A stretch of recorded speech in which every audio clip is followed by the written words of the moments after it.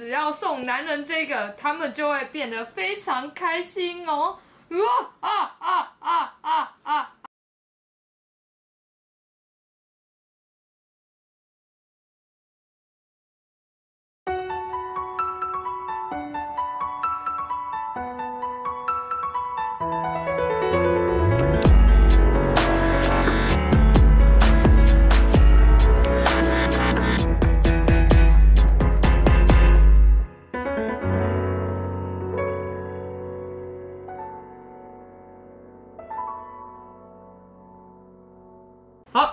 欢迎再次收看《护肤骑士变形金刚》分享时间。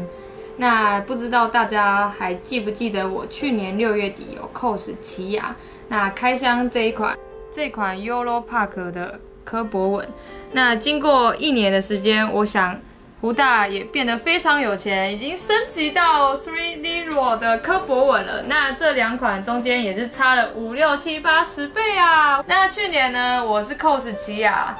但虽然现今天不是奇亚，但一样都是白毛的角色。白毛的角色来临了！我从以前的少年杀手变成现在的魔法阿妈，哎，经历了什么？那我们今天开箱的是 Three Zero 的科博文，湖大的入手价是台币六千两百块。那我们现在就来看一下玩具的本体了。啊，可以看到它前面车窗胸口方方正正，很像 G One。这次它的旧化做得很成功，大家可以看到这个遮阳板，它的效果就会很生动。喂，这个油箱的旧化也很漂亮，这个轮胎也是做的灰灰的感觉，那里面的涂装也是做的很生动。那这个轮胎是可以转的哦。好，肩胛这边呢也做出一个掉漆的感觉。看起来像是打过一场硬战呐！烟囱的顶部有一个烟熏的涂装，部的机械零件刻画的非常多。那大家可以看一下呢，它前面这两片里面的细节刻画的非常细致。可惜它的胸口没有办法打开，没有办法看到里面的领导模块。那它的胸口呢，有一个博派的标志在这边。它身上有很多联动的小机关，像这里，还有这边。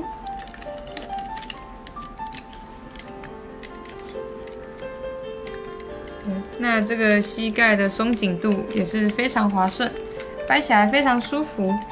我想新梅尔应该也会掰整天吧。我们三菱家的设计就是有龙虾背啦，那它这个。凹下去一开始有点吃力，那之后凹的时候就会非常的滑顺。我想新梅尔应该也会凹一整天吧。那上面这个地方也是可以左右摆动的。那前方的裙甲是球形关节，可以移动。那侧边的裙甲呢是双层关节，可以上下移动。那后面的裙甲呢是球形关节加双层关节，也可以左右移动。那手部的平举可以高过肩膀。那肩膀的烟囱跟护甲会自动避让。那腰部的转动非常的紧，被它的裙甲限制了它的可动性。脚踝有一定的接地幅度。那它的眼睛是可以发光的，开关的话在额头这里。那我们现在把灯关掉，给大家看一下，效果也是很好的。那这款第七集的科博文呢，旧画做的非常的自然跟生动，它的口罩刻画的非常漂亮。它这个口罩地方呢是可以。更换成漏嘴版的，要从下面这个地方把它拿起来，就可以换成漏嘴版的。那我觉得它这个漏嘴版的没有很好看。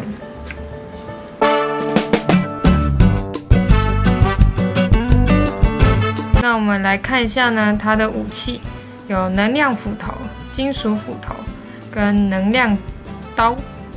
那这两只斧头呢，我比较喜欢这把能量斧头，那种火属性，有点亮亮的感觉。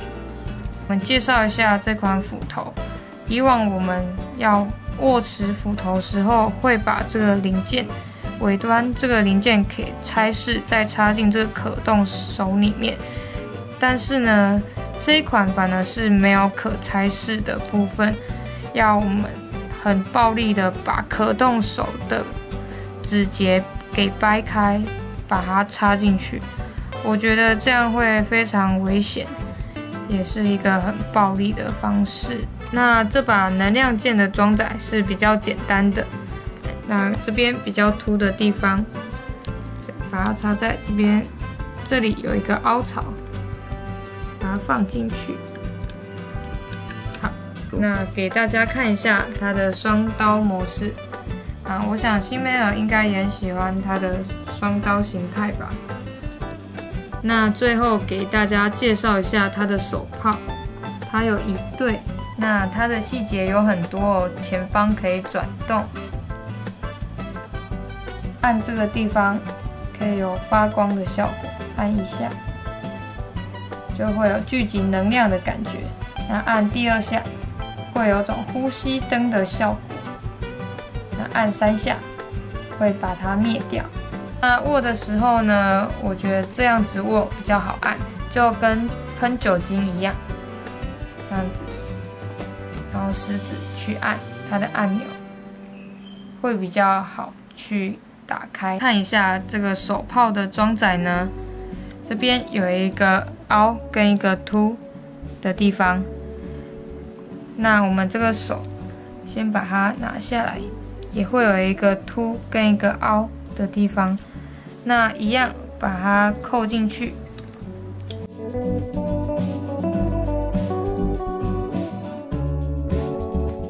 那我们这个手臂的地方呢，也可以前后搓动。那今天的节目就给大家进行到这边喽。那希望这次的内容有帮助到大家。精美的涂装表现，多量的配件，恰到好处的关节紧实度，让这款三菱家的科博文兼具了把玩和收藏的价值。那加上我自己很喜欢第七集的电影，所以对这个产品自然也会加分很多啊。那但是价位不是很亲民哦，买不买就看各位自己衡量喽。谢谢各位这一期的收看，我们下集再见，爱你们么么哒。